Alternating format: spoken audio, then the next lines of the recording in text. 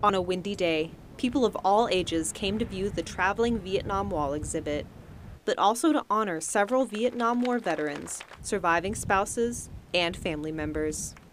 The 50th Vietnam War commemoration ceremony brought forward community leaders and citizens who wanted to say thank you for all those who served and lost loved ones during the conflict.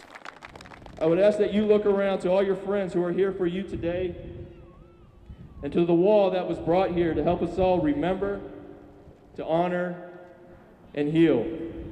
And to the Vietnam veterans, from the bottom of my heart and on behalf of 6,000 airmen that comprise the 17th Training Wing, I thank you and I salute you. During the Vietnam War, a military operation known as Operation Baby Lift was put into action to evacuate approximately 3,500 children out of the country. Goodfellow Air Force Base member Aaron Lockhart was one of those children and was honored by the chance to speak at the ceremony. So when I heard about this event, I actually approached one of the organizers because I found that it is such a great opportunity for me to be able to let people know how grateful I am for the sacrifices that they made in order that I could have this amazing life. This ceremony shows that even though the Vietnam War was over half a century ago, it continues to impact the lives of the generations who came during and after. Senior Airman Jessica Ray, San Angelo, Texas.